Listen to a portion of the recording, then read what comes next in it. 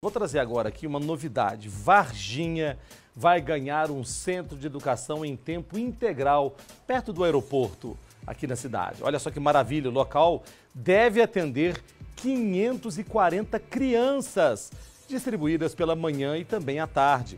Serão alunos do ensino fundamental de 6 a 14 anos. Lá eles terão almoço, lanche e várias atividades. As crianças estudam regularmente nas escolas e depois serão levadas para o local, no horário inverso. A previsão é que as aulas no centro tenham início no ano que vem. O Maicon Adão foi até lá para conhecer esse espaço. Vamos ver na reportagem deste Exemplo Mais. Balança aí! O Samuel tem 9 anos e frequenta o Centro de Artes e Esportes Unificados, uma extensão da Escola São José. Eu acho muito bom, porque as professoras e os professores também são ótimos professores. E o que, que você acha das atividades que você faz lá? O que mais você gosta de fazer? As atividades são muito legais e as coisas que eu gosto de fazer, eu gosto de jogar bola, eu acho muito de fazer artes e dança. Além de atividades complementares, o centro oferece outros benefícios. Lá tem a, é, a oficina de karatê, de dança, tem a oficina de, de músicas, né? E a gente serve sim alimentação, café e almoço para os dois períodos tá? tanto matutino como vespertino. Nós procuramos desenvolver né, é, o, a criança em todas as suas dimensões, né? Então, físicas, intelectuais, emocionais. E a gente nota que as crianças hoje são muito carentes de um abraço, né, de uma palavra. Então, nas nossas oficinas de teatro, a gente trabalha muito isso, né? A questão da afetividade, da fala, da criatividade. A Patrícia é a mãe do Samuel. Ela que trabalha como empregada doméstica fica tranquila em saber que o filho tem ocupação em período integral. Nós que somos mães, né, precisamos sair é, cedo para trabalhar e muitas vezes a gente encontra dificuldade, né, com quem é que vai ficar os nossos filhos, quem é que vai levar para a escola, né? É, então, essa preocupação toda. Então é, é muito difícil.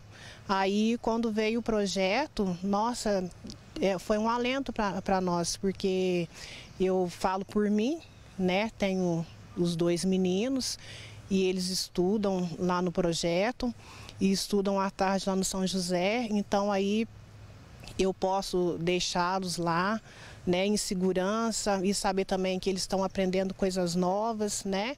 Agora os alunos da Rede Municipal de Ensino de Varginha vão ganhar mais uma opção a prefeitura adquiriu esse prédio perto do aeroporto, onde vai funcionar um centro de educação em tempo integral. O local deve atender 540 crianças. Serão alunos do ensino fundamental de 6 a 14 anos. Lá eles terão almoço e um lanche, dentro da proposta do programa. Foi adquirido né, no, no começo, primeiro semestre desse ano, para que possamos executar aqui o, o programa de, do tempo integral é, que é uma proposição que está na nossa lei, nosso plano municipal né, de governo e plano municipal de educação. É, a meta 6 do plano, ela preconiza que, esses, que esse, essa modalidade da educação seja estendida. Então, né, o governo Verde Leonardo, sensível a essa causa e cumprindo com seu dever de casa, né, fez realmente a aquisição desse prédio para que possamos, então, a partir do ano que vem, executarmos aqui as aulas, né, as atividades complementares do tempo integral. Vai funcionar assim. As crianças estudam regularmente nas escolas e depois serão levadas para o centro no horário inverso para as atividades complementares.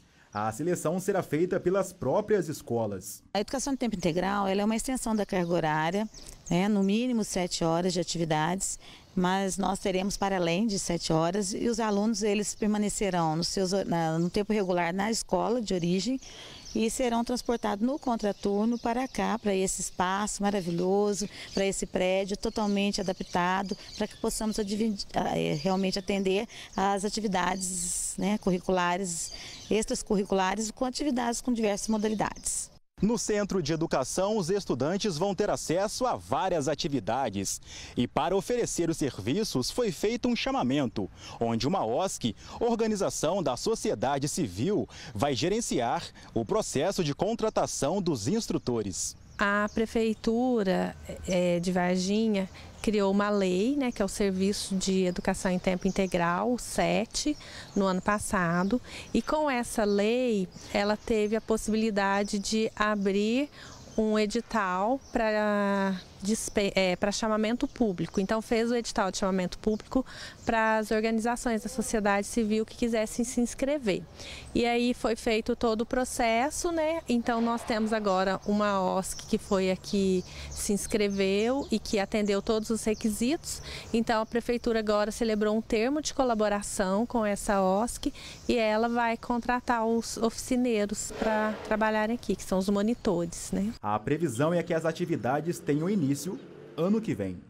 Com certeza, lugar de, de aluno é na escola. E principalmente o Brasil, né? Nós ainda estamos aí com essa meta a ser alcançada. Nós somos um dos países que menos tem tempo integral é, e que temos menos carga horária dentro das escolas. Então a intenção realmente é que possamos trazer esses estudantes para que eles possam desenvolver as suas habilidades né, no, na, na, integridade. Né? Aqui eles terão acesso a aulas de música, né, musicalização, dança é, esportes, natação, é, futebol, vôlei, handball, é, judô, capoeira. Eles serão também artes cênicas, artes plásticas, robótica, educação ambiental, é, apoio pedagógico em língua portuguesa e matemática, várias outras é, oficinas que eles irão participar durante o dia.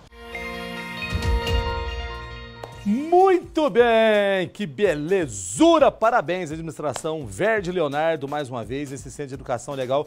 Michele Miak, ali é onde era o campus 2 do Unis, não é? Ah lá, na subida ali, perto do aeroporto. Antes do aeroporto. Aqui antigamente, sabe o que me chamava ali, Michele Miak? Arte. Sabe o que era isso? Associação Recreativa Telemig. Você lembra que existia uma empresa, não existe mais, chamada Telemig? Era ali, tem uma piscina maravilhosa ali, um campo maravilhoso. Já joguei bola nesse campo aí, Michele Miak. Já fiz dois gols lá perto daquele bacateiro lá, ó. É, te falar. Parabéns aí, viu, Verde? Parabéns, Leonardo Ciácio, vice-prefeito de Verginha. Todos vocês aí, quinhentas e tantas crianças vão poder participar. Aí tá tudo remodelado, tudo bonitão, coisa mais linda. Parabéns. É assim que funciona.